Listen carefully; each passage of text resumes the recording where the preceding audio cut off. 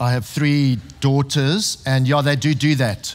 They go into each other's closets. Uh, but when the, when the one whose closet they're going into is not at home, and then they see each other like at church, and then they're like, hey, those are my shoes. But then it's in a public setting and they can't do anything about it. But I don't think guys do that. Do, do, do men do that? I've got a brother. I've never been when I go to his house. I don't go into his cupboard and then wear his shorts. I don't know. It's just not a thing. Well, good morning, everyone. It is wonderful to be together. Um, if you're visiting, um, we have been uh, feasting on the book of Romans, which is a long book, but it really has been a feast, and we're almost at the end. This is the second last one. So if you have a Bible, um, you can turn to Romans chapter 16. If you don't have one with you, that's fine. You can share with someone next to you. It's quite a long passage. Um, this morning is called Part of the Family, Part of the Family. Romans chapter 16. I commend to you our sister Phoebe, a deacon of the church in Caesar, uh, Syria. I ask you to receive her in the Lord in a way worthy of his people and to give her any help she may need from you, for she has been the benefactor of many people, including me. Greet Priscilla and Aquila, my co workers in Christ Jesus. They risked their lives for me. Not only I, but all the churches of the Gentiles are grateful to them. Greet also the church that meets at their house. Greet my dear friend Epaenetus, who was the first convert to Christ in the province of Asia. Greet Mary, who worked very hard for you. Greet Andronicus and Junia, my fellow Jews who have been in prison with me. They are outstanding among the apostles, and they were in Christ before I was. Greet uh, Ampliatus, my dear friend in the Lord. Greet Urbanus our co worker in Christ, and my dear friend Stachys. Greet Apelles, whose fidelity to Christ has stood the test. Greet those who belong to the household of Aristobulus. Greet Herodion, my fellow Jew. Greet those in the household of Narcissus who are in the Lord. Greet Tryphena and Tryphosa those women who work hard in the Lord. Greet my dear friend Persis, another woman who has worked very hard in the Lord. Greet Rufus, chosen in the Lord, and his mother, who has been a mother to me too. Greet uh, uh, Asyncritus, Asyncritus uh, Phlegon, Hermes, Patrobas, Hermas, and the other brothers and sisters with them. Greet Philologus, that's a great name, huh? Philologus. Julia, I love that name. One of my daughters is Julia. Neur, uh, and, and his sister, and Olympas and all the Lord's people who are with them. Greet one another with a holy kiss. All the churches of Christ send greetings. I urge you, brothers and sisters, to watch out for those who cause divisions and put obstacles in your way that are contrary to the teaching you have learned. Keep away from them. For such people are not serving our Lord Christ, but their own appetites. By smooth talk and flattery, they deceive the minds of naive people. Everyone has heard about your obedience, so I rejoice because of you. But I want you to be wise about what is good and innocent about what is evil. The God of peace will soon crush Satan under your feet. The grace of our Lord Jesus be with you. Now, you might, after that long passage, greet this person, greet that person, be asking the question which I asked God, why did you put this here as just a list of names? And that would be a good question to ask. Um, God, what were you thinking when you put this in the Bible? And that's a question that I've asked my parents. Parents, what were you thinking when you gave me my middle name? What on earth were you up to? It's a very strange name, or kind of strange. If you don't know it, don't worry, you're not going to know it. Um, you can come and ask me later, and I might tell you. Um, but the same question you can ask You can ask God. We were singing um, the last song, Your Name is Higher Than Anything Else. And I was just thinking, as we were singing that, I was thinking about the world in, in which we're living now two major wars, and there are lots of other conflict wars around. The most powerful nation, or they claim to be, in the world are having elections soon. There's, there's all sorts of strife everywhere. And yet we can know that we serve a God whose name is above it all. And thinking about that, the, the grandeur of that, but He's a God who is personal. You are not a bunch of faces in a sea of a crowd. You have a name, and God knows your name. He is a personal God. He, he knows these people. Some of these people we could call, we could call hidden heroes. He cares about what you are worried about. The gospel and building church is deeply personal to God. These people don't have a song or a book written about them, and you probably don't either.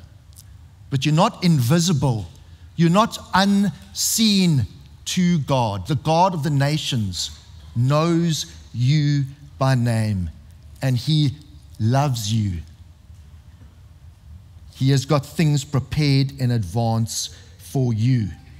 We're going to look at the verses kind of in order, but some of them we'll kind of rush over, others we'll spend a bit more time. Verse 1 and 2 I commend to you our sister Phoebe, a deacon uh, in the church of Cenchreae. I ask that you receive her in the Lord in a way worthy of his people and to give her any help she may need from you, for she has been the benefactor of many people, including me. Phoebe was a prominent woman in the church. She was a deacon or some translations say a servant, which is what a deacon is. And she was traveling to Rome, probably entrusted with the very letter to the Romans, with this letter. And I love the language that Paul uses. I commend to you. I commend to you. Can I recommend this woman to you? Can I compliment her to you? I want to cheer for her. I want to honor her. There's no us and them. There's no um, this woman is coming to you. No, she is loved and trusted and known by Paul. Hello? And so is she. Well, to God, probably not to Paul. Um, Paul has a deep affection and love for her, and he commends her. He wants the church in Rome to treat her in the same way. I read a history professor who said this ancient Rome was a macho society, often uh, misogynistic, where women did not enjoy equal citizen rights. And I thought, when I read that, I thought, wow, not much has changed in 2,000 years.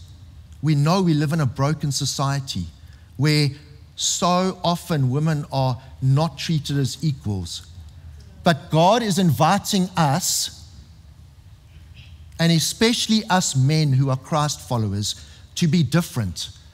Not just that we don't cause violence against women, but in our very speech and our speech comes from our hearts.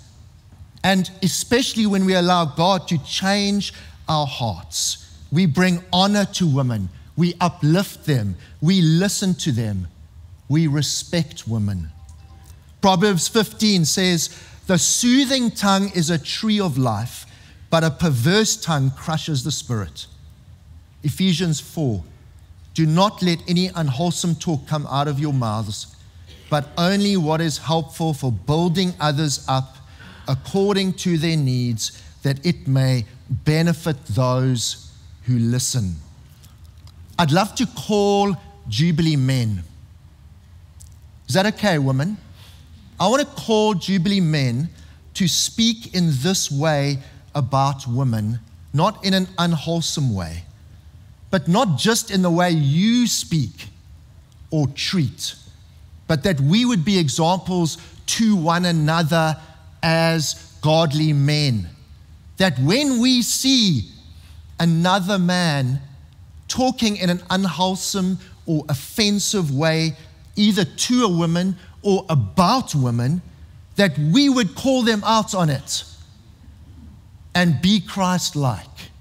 Not in a harsh way, but in a loving way so that we can correct them and help them to see that women deserve to be honored.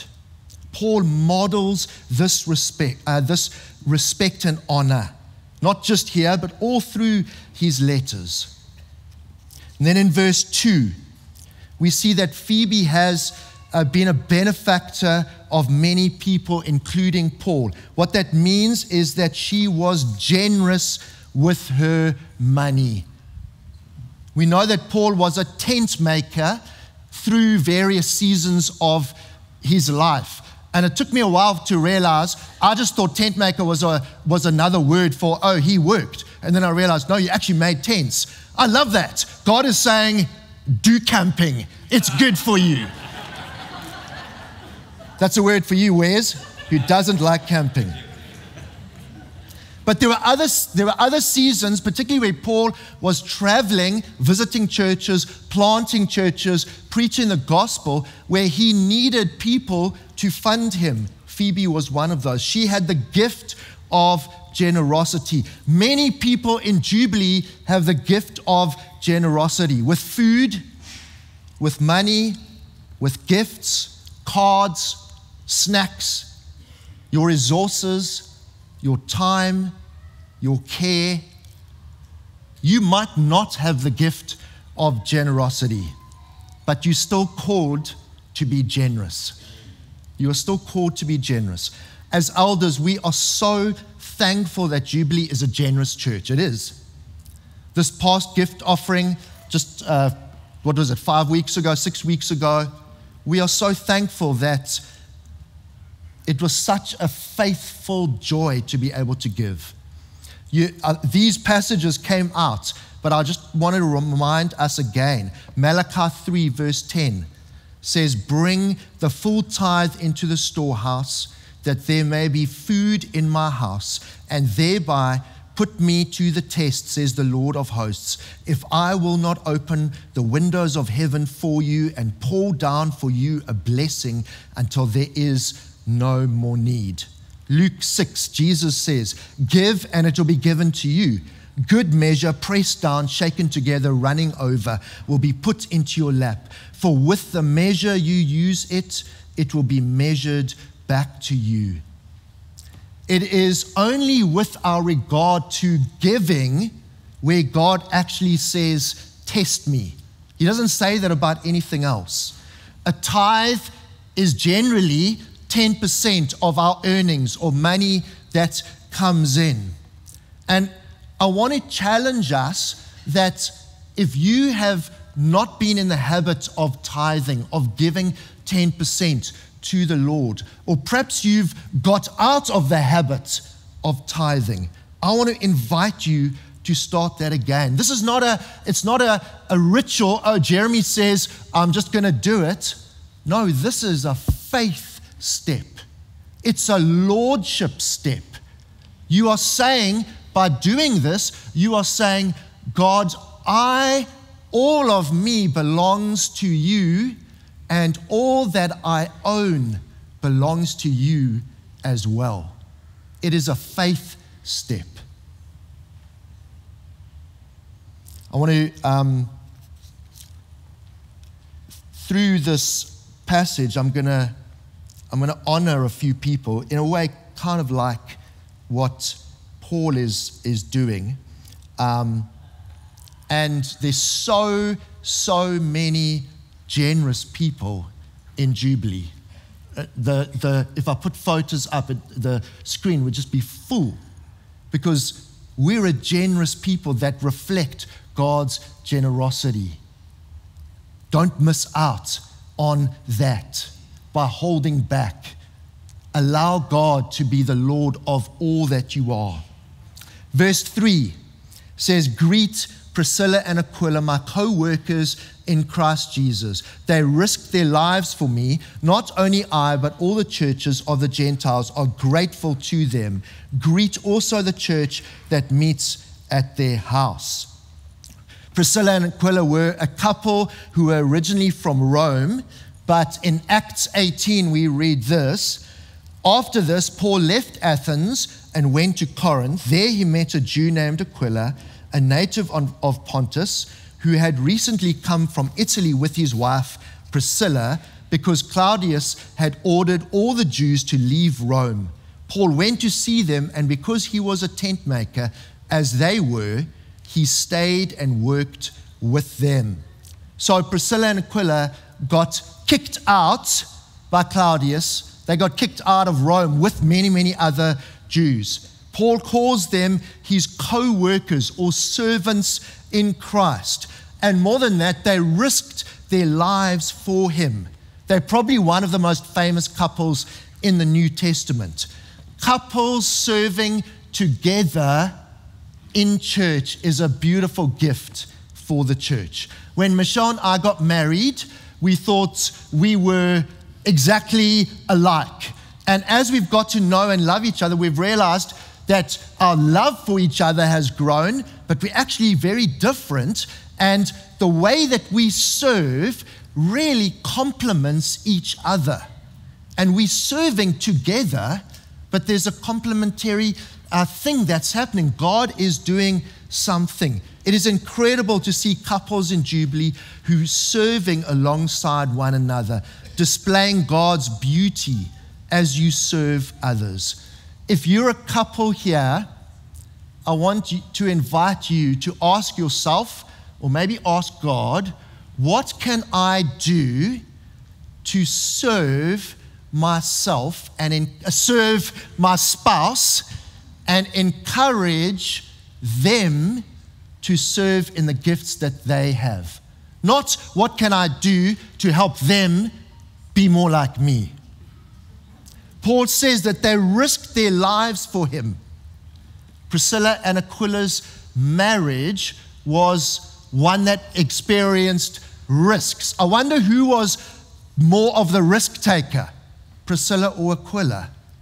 And who was the one that was more aware of the dangers. But whoever it was, they were together serving God. I want to show you a photo of a couple. You know that couple?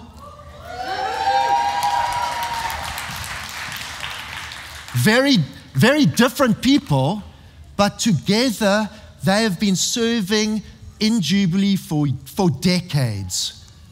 We honor you guys, Mike and Jenny. Verse 5, we see that they hosted the church in, the, in their home. Priscilla and Aquila hosted the church in their home. So in Rome, um, what happened is the church spread and grew. They probably didn't have many venues like this where the church would meet, and they would meet, kind of multiply like life groups into people's homes. One of the things that marked the early church and the church in Rome was their care for outsiders. In other words, people that weren't part of the church would be invited into their homes and therefore would experience Christian hospitality, Christian love, Christian warmth, friendliness, generosity. We all know that to be hospitable is to welcome people into your home and make them feel at home. But I want to push that a little bit further. If you have got the gift of hospitality, and all of us have got a small measure of it, and some of us have got a big measure of it, if you've got the gift of hospitality, that gift doesn't just stay at your front door when you leave home. What about being hospitable in your workplace? Being friendly, being welcoming. in your street, in your community, at varsity, at res? What about on a Sunday morning at church? How can you be hospitable to others? As humans, we are people of habit. You kind of sit more or less in the same area. I know that if I look there, it's going to be more or less the same people generally. Some people are brave and they swap around, but very few. And not only that, you talk to the same people often, most weeks, and that's great. But can I invite you to take a bit of a risk for hospitality's sake? Because Jesus is inviting us to do that, like Priscilla and Aquila, and go and talk to some different people. You will make Jubilee become more hospitable. Can I invite you to do that? Give it a go. Be friendly, be warm, be genuine in, in asking other people questions so that they know that you are interested in their lives as well. I want to show some photos. Are they coming? No, I don't know if that's the that's not the right one. Is there? If we go the, to the next one where there's a, a, a group of photos, uh, and there's another one. It might be before afterwards. Anyway, they'll get to it. Um, I'm going to carry on. Shout if it comes up. Is it there? Not there. Not there. Okay, well, I'm just going to tell you who they are because uh, they're here. Stephen and Ritza are somewhere over there. I saw them. They, um, there they are. They have invited so many people to their house. Um, not all their friends. They've had kids. They've had youth group at their house. They've had young adults and students. They've had burger nights. They've had Mexican evenings. Uh, they didn't organize it, but they said, "Yo, come." They've had at sometimes over 80 people. People couldn't sit. There wasn't space. Doesn't matter. What about this person? Um, Auntie Una. I don't, I don't, is she here? There she is. She's like, if you talk to Auntie Una, you just feel loved. I feel so welcome. I feel like, hey, I belong here, even if it's my first time. She's just so hospitable. I love it. It's who she is. The, the lady that was baptizing, Hazel, she, where, is she here? Where is she? Somewhere, oh, there she is. She, she, her and her life group um, meet in the, you'll see them after church. They meet in the downstairs hall at the back at a table, and kind of you see them because when everyone else is starting to leave, they catering. Yeah. They are staying there. And uh, because she just, she's gathering, she's hospitable, she's friendly. It's not just her. And there's so many others. Let's be a church that is rising in our hospitability. Is that a word? Hospitality. I prefer the other one. Verse 4 They risk their lives for me. Not only I, but all the churches of the Gentiles are grateful to them. But Priscilla and Aquila were Jews. Did you hear what that said? Not only I, but all the churches of the Gentiles are grateful to them. Priscilla and Aquila are Jews. So they were some of the first two converts in Rome.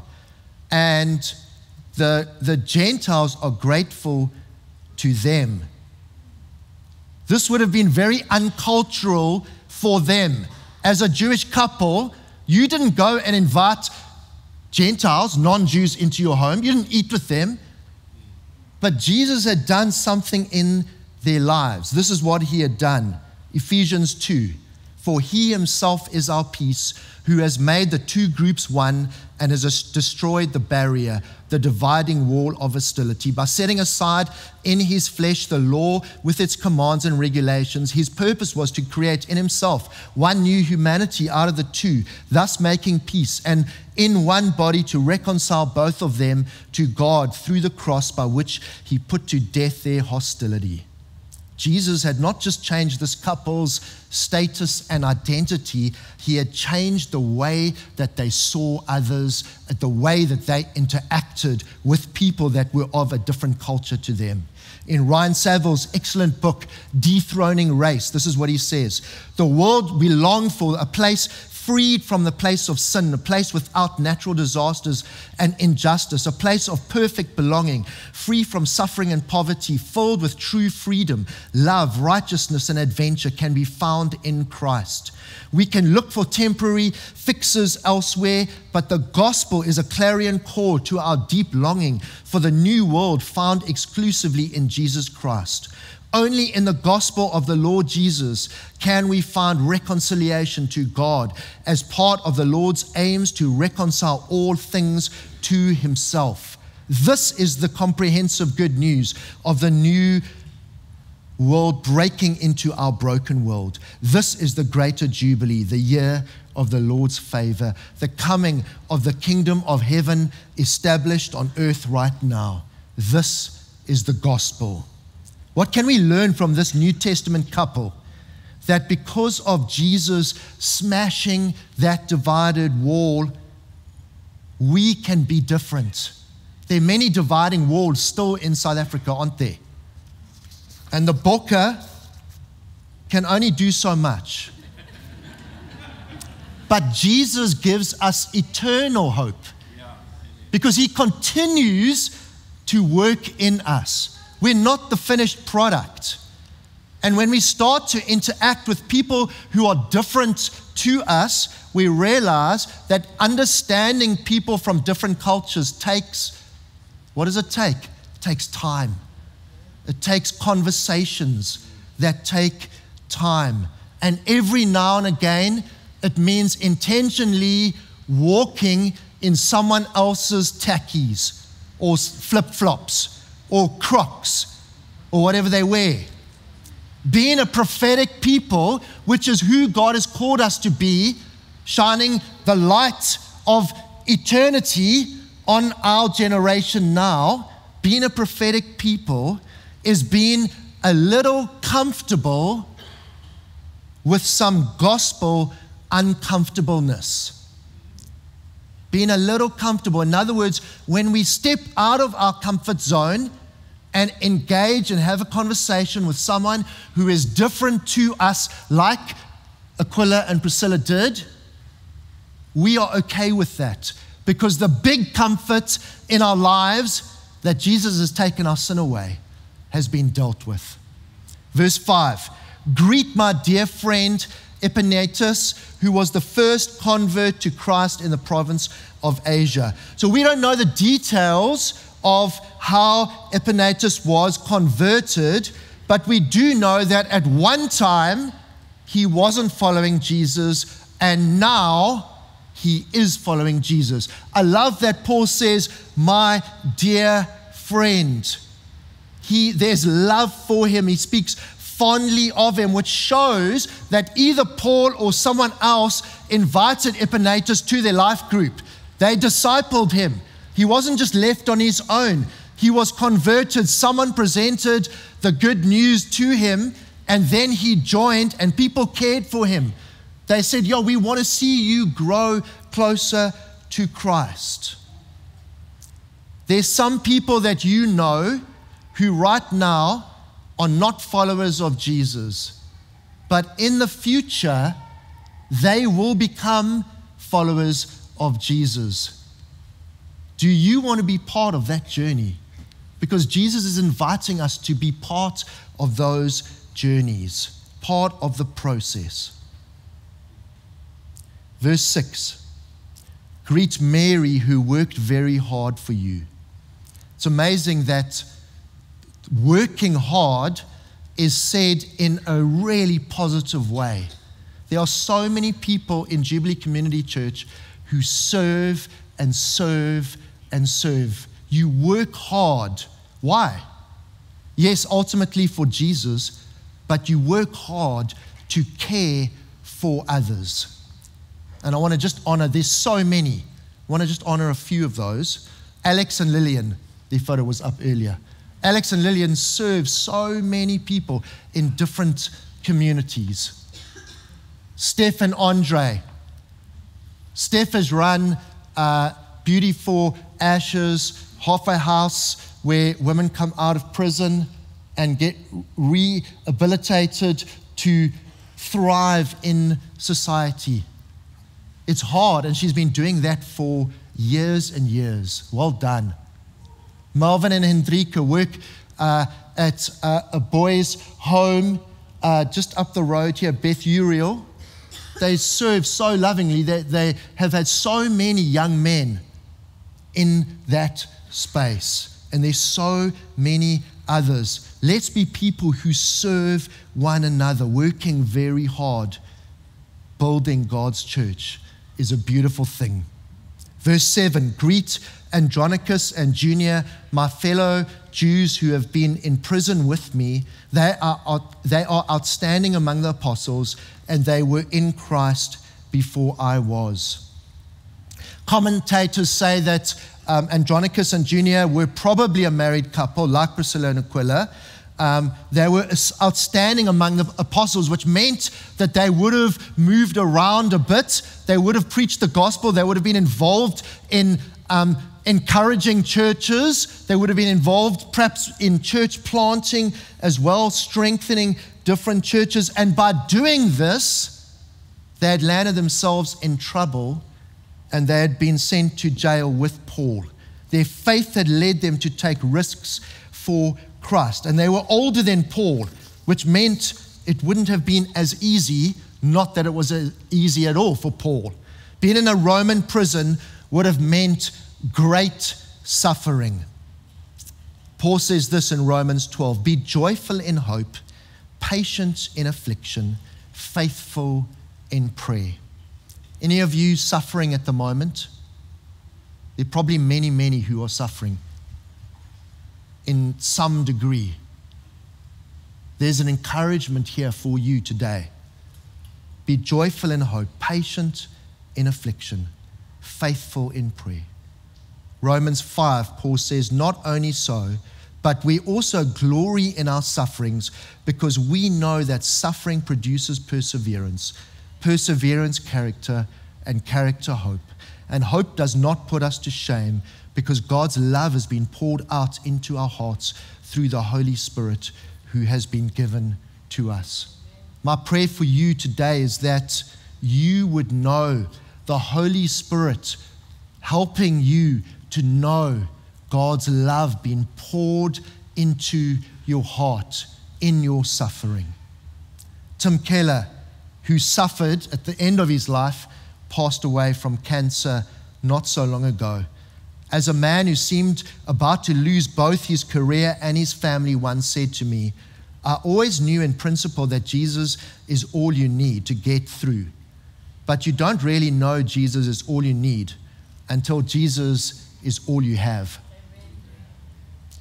Verse 8 Greet Ampliatus, my dear friend in the Lord Greet Urbanus, our co worker in Christ, and my dear friend Stachys. Paul was a man who was affectionate. You can see that he really does love these people and care for them in a deep personal way. What kind of friend are you? Sometimes all of us will come to a, a stage in our lives where we will maybe ask the question I would like to have more friends, or I would like to have some friends who care about me a bit more, or I would like to have some friends that we can go a little bit deeper with. Can I suggest to you to be that type of friend?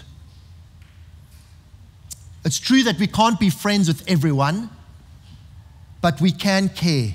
We can treat people with dignity and with love. There's so many who are brilliant at connecting and caring and befriending in Jubilee. Just want to, is there a photo?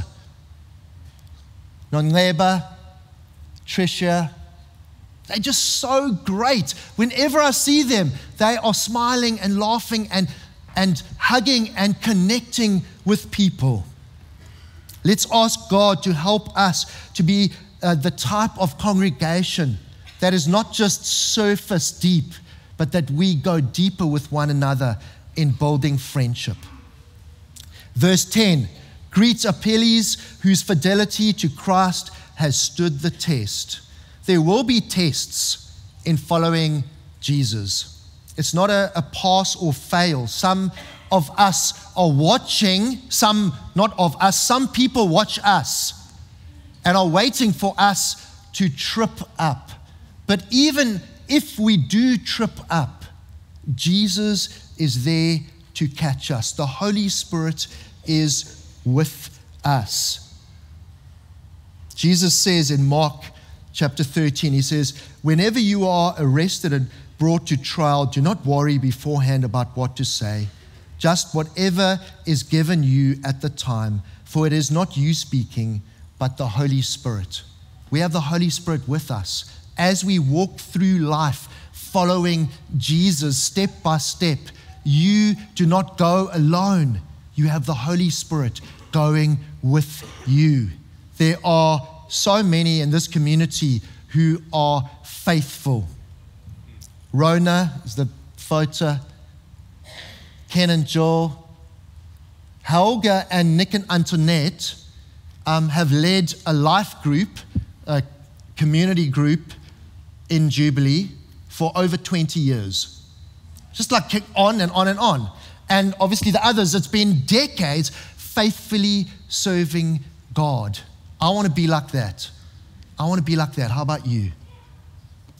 Verse 13 Greet Rufus, chosen in the Lord, and his mother, who has been a mother to me too.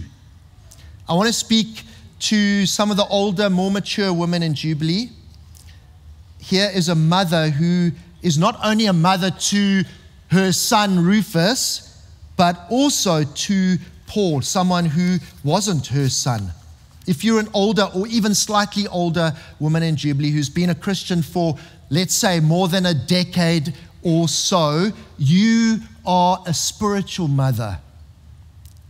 Listen to this you are not overlooked by God.